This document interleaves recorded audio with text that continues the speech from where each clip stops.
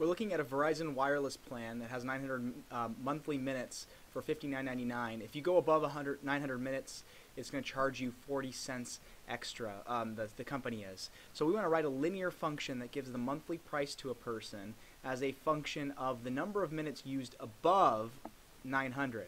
So if you don't use any minutes above 900, if it's zero, then your total price will be $59.99. If you use 10 minutes over, let's say, then you're going to pay $59.99 still, but now you're going to have to add on to that um, 40 cents 10 times because you're using 10 extra minutes and it's 40 cents per extra minute. So notice that all we're really doing here to get P is taking um, $59.99 and adding to it 40 cents m times depending on how many minutes you use above 900. Now this isn't the number of minutes you talk, this is the number of minutes above 900. Um, now we want to find and write P of 100. Well, P of 100 means if you use 100 overage minutes, you're going to pay $59.99 plus 40 cents times 100 minutes, and that will give you, that's going to be 40 more dollars you're going to have to pay for those 100 minutes. You might want to up your plan, but that would be $99.99 for 100 overage minutes.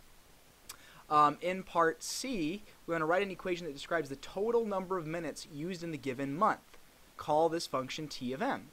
Okay, well, this seems weird because isn't m the number of minutes? Well, m is the number of overage minutes. So in fact, if you use zero overage minutes, that means you've, uh, well, we're assuming that you've used 900 minutes of your plan.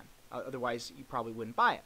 If you use 10 overage minutes, then your total minutes used would be the 900 plus the 10 minutes um, that you um, went over. So you used a total of 910 minutes. Well, how do we get this? To get the total minutes you use, take the 900 of the plan plus the number of overage minutes. And so if we wanted to find and interpret T of 100, T of 100 would mean, okay, if I use 100 overage minutes, that means I have to, in total, I've used 900 plus 100 is a 1,000 total minutes. Well, now we want to look at the, the relationship of these functions. So write a new equation, call it A, which is going to be the pr total price of your, your monthly bill divided by the number of, of total minutes you use. So all we really have to do here is take this function and divide it by this function. So P divided by T, so this is what we're calling A.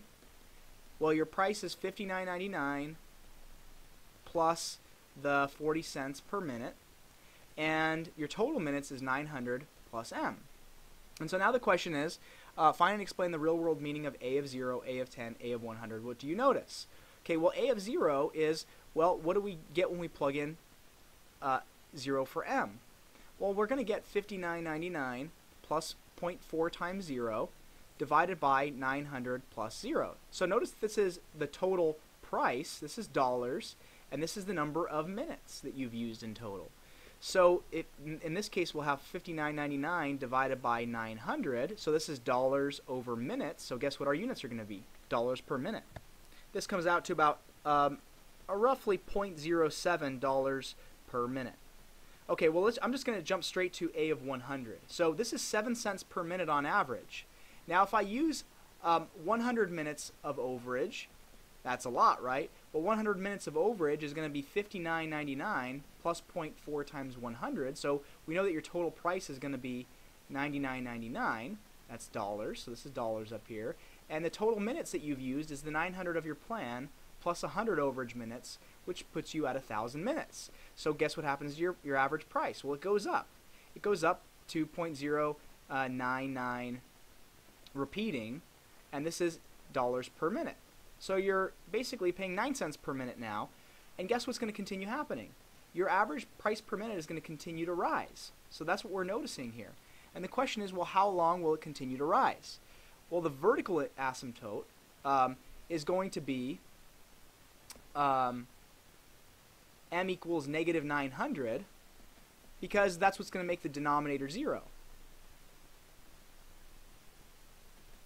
Um, now, we know that that's not possible, so we can pretty much ignore the asymptote.